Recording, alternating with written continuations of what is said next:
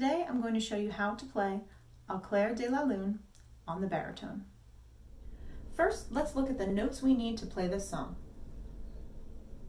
B flat is on the second line of the staff and is played open, or no valves are pressed down.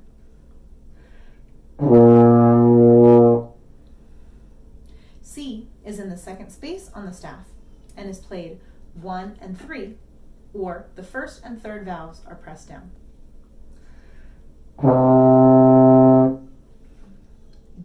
Is on the third line of the staff and is played 1 and 2, or the first two valves are pressed down.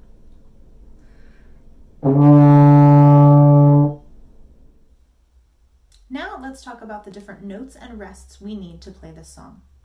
The first note we need is a quarter note, pictured here, which is worth one beat.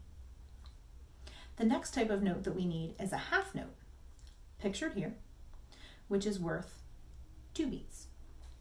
We also need a whole note, pictured here, which is worth four beats. And we need a half rest, which is pictured here and worth two beats. Here is the music for Au clair de la lune. Take about 30 seconds to look through the notes and practice switching your fingers.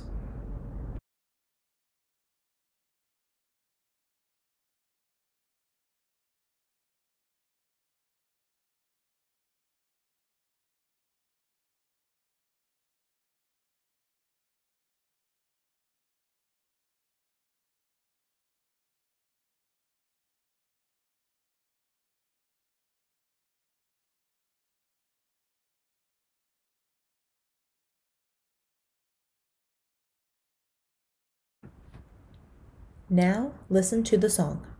Practice switching between notes as you listen and follow the music with your eyes. Ready? One, two, one, two, ready, go.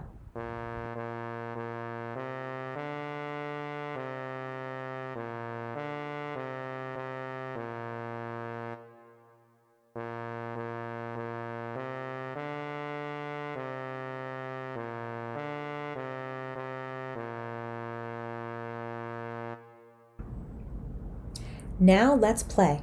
Make sure you are ready for the very first note. Here we go. One, two, one, two, ready, play.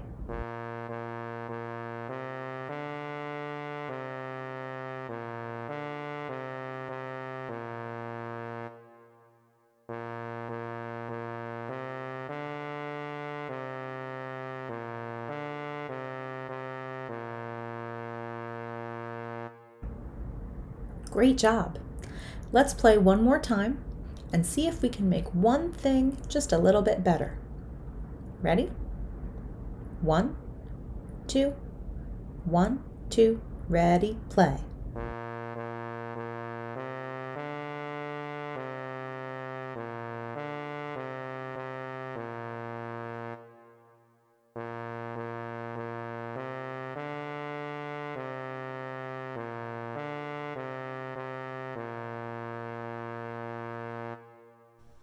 awesome job playing Au Clair de la Lune. If you'd like the music for this song, click the link in the video description. Thanks so much for watching. Until next mm. time.